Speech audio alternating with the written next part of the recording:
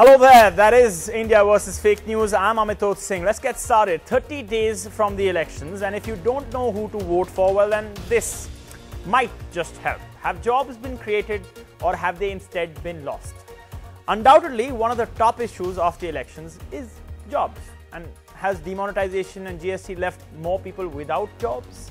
Or has the government, through its schemes, actually created jobs? It's a tough one to answer, right? Well, we're going to try and answer it. The question we are trying to get to is, as a fact, we're trying to answer it. Simple one. Under PM Modi, have jobs been created or lost?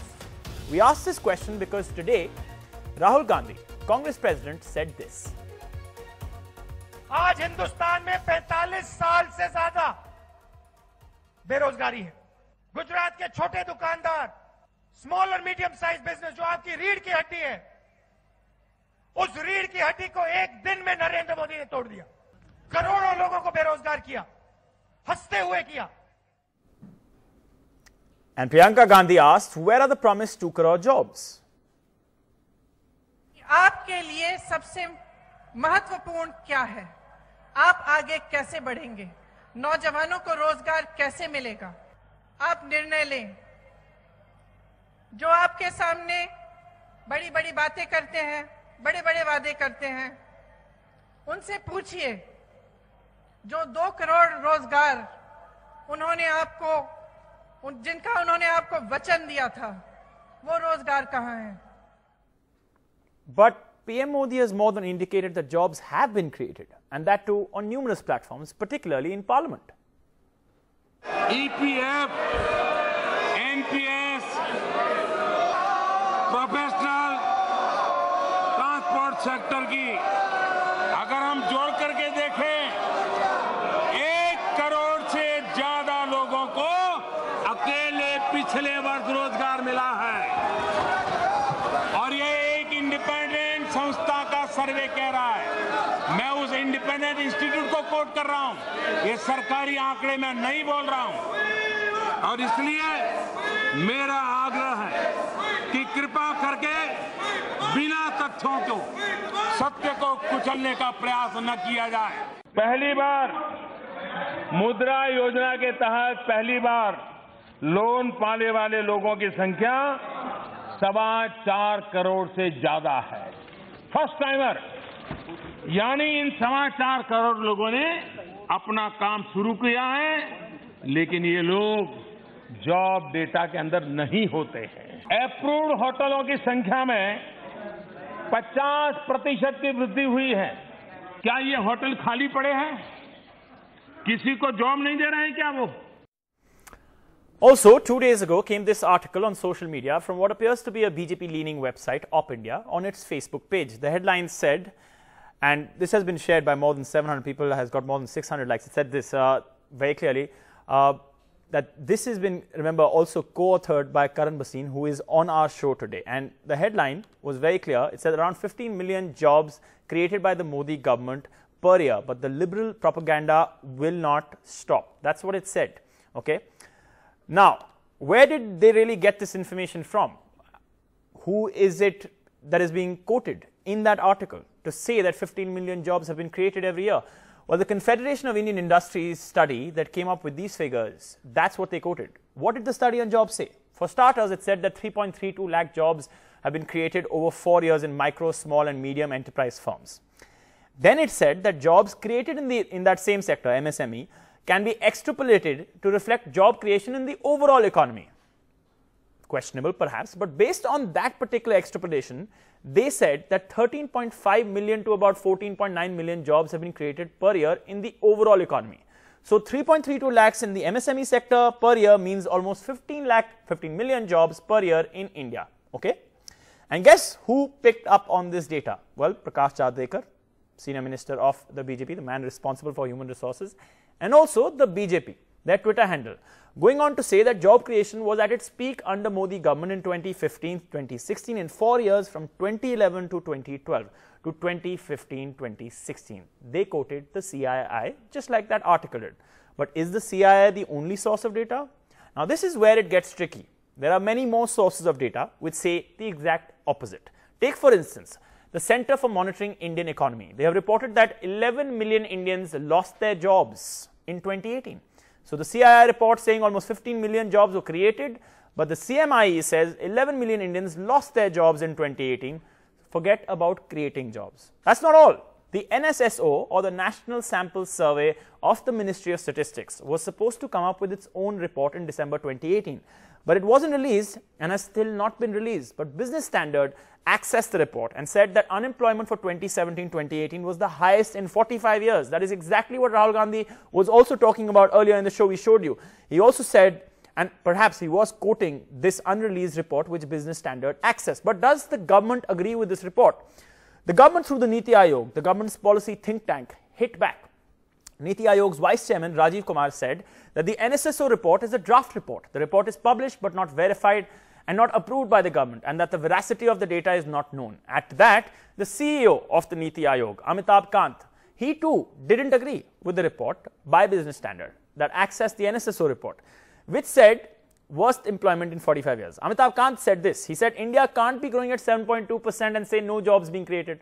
But this is citing logic, not really data, is it? Mr. Kant then added that cab businesses, Ola and Uber, have created 2.2 million jobs and that the transport and tourism sector had created 14 million jobs each in the last four years. But did the man behind that report agree with the claims of the Niti Aayog? Not at all. PC Mohanan, the man who resigned from the NSSO or India Statistics Commission, because that same report, the NSSO report, was not published, has said that the government's claims that it is a draft report is wrong. Once the report is approved by the Commission, it is the final report, and that the last straw was not releasing the NSSO report before he actually quit. So, does all of that really help? Help answer that question. Under PM Modi, have jobs been created or lost? How can it really be that there are reports which have completely opposite views. Is this some fake information propaganda going on out here? Who's behind it? Let's make sense of this with Karan Bhasin, who wrote that Op India article we showed you, which cited the CII report, which claims that 15 million jobs have been created every year. Also joining us is Dr. Radhika Kapoor, Senior Fellow at the Economic Think Tank, the Indian Council for Research and International Economic Relations. She has worked extensively on the aspect of understanding data around jobs. I just want to start with you, Radhika. Under PM, jobs created or lost? Simple question. So Amitoj, uh, let me just say something about employment data before actually answering that question. Yeah. You know, so much of uh, the, the, evaluation of the performance of this government on job creation has been mired in ambiguity because of all the confusion around employment data. Now, India has traditionally collected uh, employment data from household surveys. And the reason for this is as follows. India has a very large dualistic labor market. So you have a very large unorganized sector which coexists with the organized sector. Right. Now, if you want to capture the unorganized sector, you need to have a household survey. Household surveys therefore satisfy the requirement of completeness in the sense that they look at both the unorganized and the organized sector. Okay, fair enough. So when you do a household survey, you capture everybody. You capture an informal worker, you capture a hawker on the street who's selling a pakora, uh, you capture the person who might have taken a loan under Mudra and then set up a shop or started some small but is there a enterprise. single study that's you doing capture that? all the Ola. So yes, that's what I'm getting to. That basically if you want to understand what's happening to the labor market in an economy like India, you need to look at a household survey.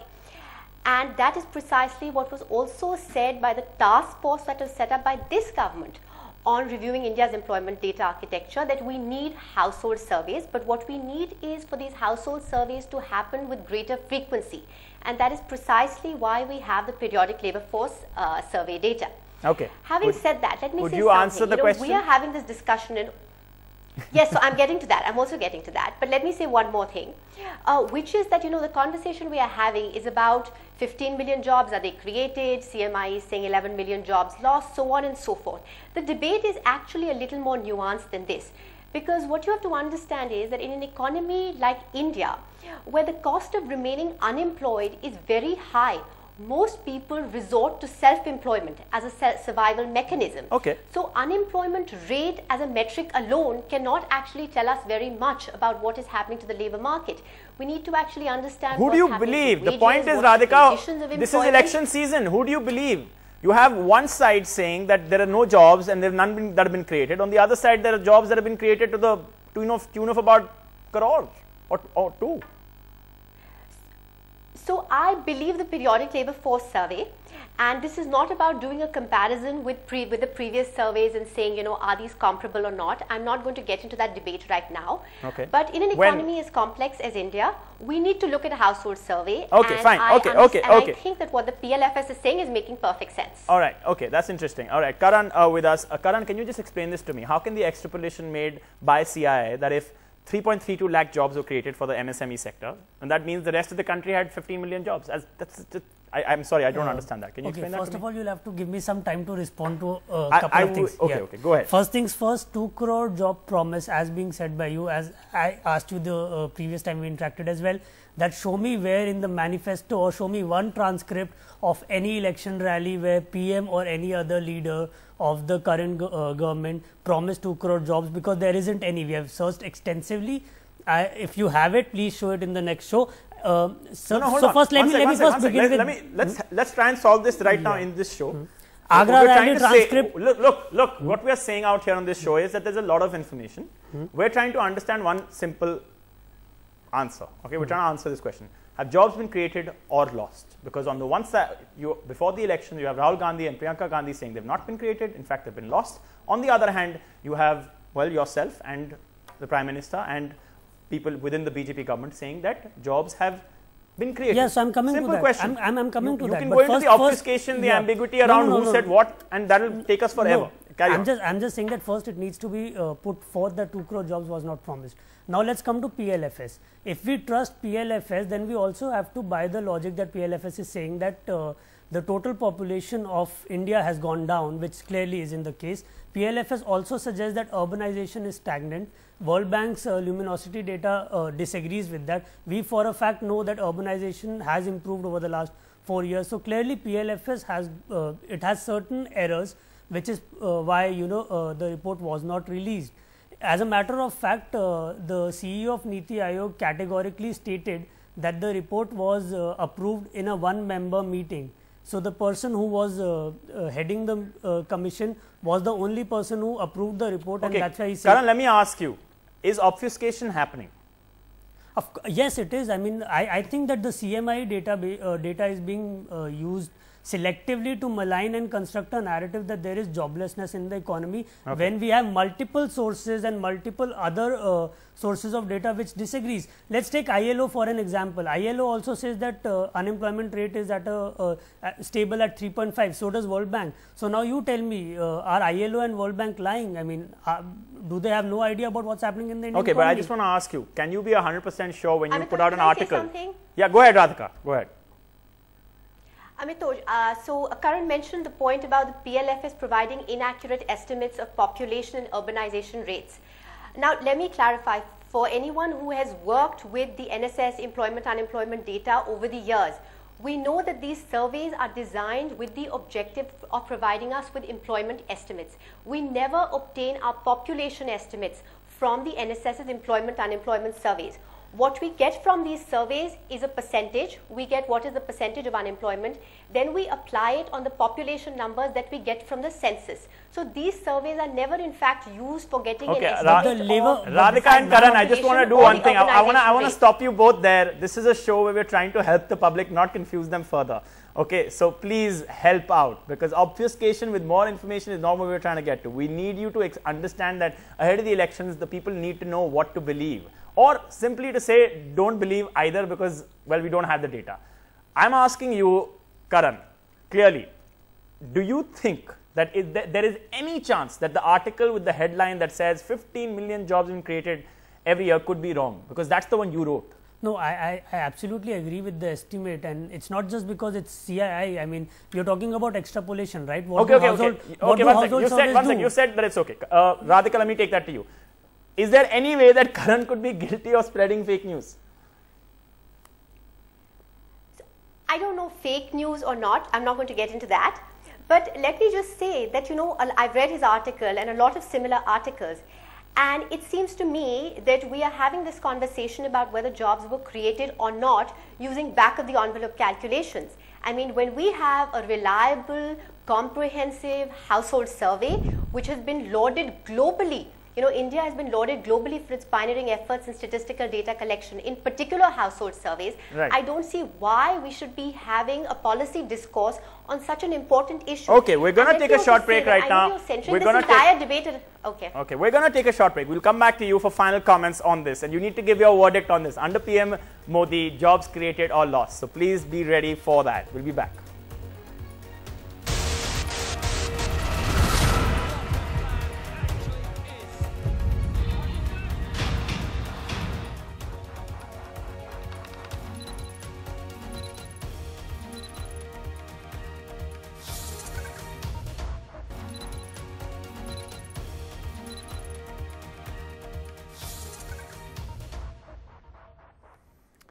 All right, under Prime Minister Modi, have jobs been created or lost? Radhika with us, uh, Dr. Radhika Kapoor and Karan. Karan, I'll give you 30 seconds to make your final comment.